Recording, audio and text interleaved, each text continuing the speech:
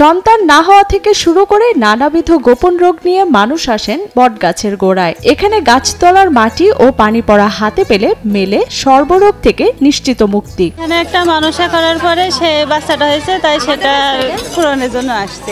ওসিলায় আল্লাহ রহমতে সুস্থ হয়ে গেল রোগী সব। এমনকি বাসনা জানিয়ে তদবির করলেও পূরণ হয় মনের আশা। আশা পূরণ হলে কৃতজ্ঞতা প্রকাশে এখানে এসে মানত দিয়ে যান ভক্তরা। এই জায়গায় মানত করে গেছিলাম যে আমাদের যদি একটা ছেলে হয় তো একটা মোরগ মানুষা দেবো। তাই হয়েছে ছেলে এই যে ছেলে তাই মানুষা দিতে আইছি। এখানে তদবির আছে আপনার কাঠ আর মাটি তাছাড়া কিচ্ছু না। আল্লাহ সবকিছু দেওয়ার মালিক তাছাড়া কেউ না। কেউ কেউ বটগাছের ডাল ধরে ঝুঁকে থাকে কেউ আবার মানত করতে থাকে উচ্চস্বরে। করলি মানে ই করলি সারি যায় এইটা আছে আপনার পাঁচ পাঁচ মতন এখানে বসে আপনার দুধ কলা দেয়।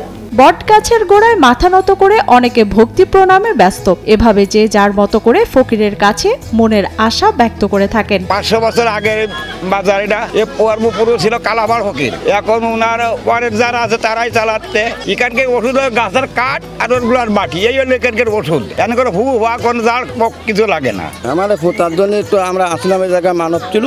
এখন খুব ভালো এই দেশে পাটাও ঠিক হয়ে গেছে। শুনেছি সবাই ভালো করছে এই জন্য আমরা এসেছি। আটশো বছর আগে কালা পাহাড়ের ফকিরের কেরামতি এখনও চলছে বলে বিশ্বাস করেন এ অঞ্চলের মানুষ। বংশ পরম্পরায় মালিকানা নিয়ে কাঠ মাটি তাবিজ পানি পড়া দিয়ে সর্বরোগের চিকিৎসা দেন ফকিরের বংশধররা। এইটা আছে গাছতলা এখানে বসে উনি তদ্বির দিচ্ছেন সব কিছু করছেন তেল পানি মাদুলি কাঠ আর মাটি এগুলো এই তো একটু মাটি মায় নিয়ে গেলাম পুরো সুস্থ এখন।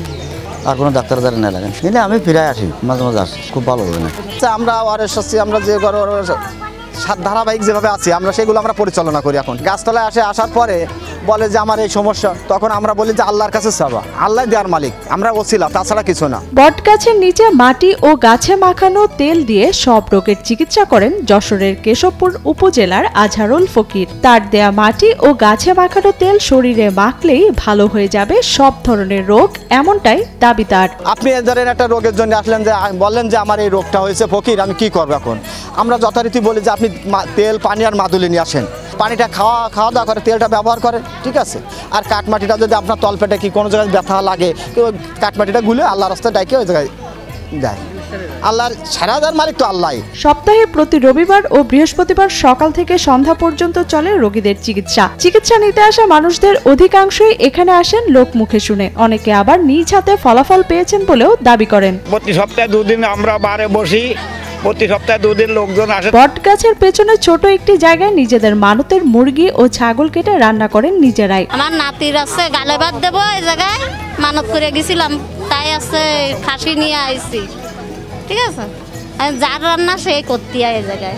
ছেলের গালে দিয়ে দেবে না, আমরা চলে আসবে না, এসে আমাকে ভাত তরকারি নিয়ে, আমাকে যে লোক মেহমান যারা আছে, তারকে নিয়ে আমরা বাইরে যাই, এক জায়গায় বসে খাওয়া দাওয়া করে বাড়ি যাবা না। রান্না করে ফরি এই জায়গায় যাই, আপনার সাবালের গালে দিয়ে দেবে ওরা। বাচ্চা হয়েছে তাই মনে করেন এই জায়গায় একটা ছিল, তাই দিলাম এই জায়গায়। আধুনিক যুগে ফকিরি চিকিৎসা না দিয়ে চিকিৎসকের পরামর্শ নেওয়া উচিত বলে মনে করেন সচেতন নাগরিকেরা। সেই সাথে কুসংস্কার ও প্রতারণা বন্ধে দ্রুত ব্যবস্থা নেওয়ার দাবি করেন স্থানীয়রা। আমি ওগুলো বিশ্বাস করি না। এই এলাকায় যে প্রচলিত আছে যে আমি গেছি আমার ওটা হয়েছে এই যে পরিচয় মুখে মুখে শুনে এখান থেকেও মানুষ কিন্তু যায়। আমার মতে অবশ্যই বিজ্ঞানসম্মত চিকিৎসা হওয়া উচিত। আমি অবশ্যই যদি অসুস্থ হই সেক্ষেত্রে আমি একজন ভালো বিশেষজ্ঞ চিকিৎসক কাছে অবশ্যই যাব। Redmi 13 স্টাইল বানাই দুনিয়া কাঁপায়।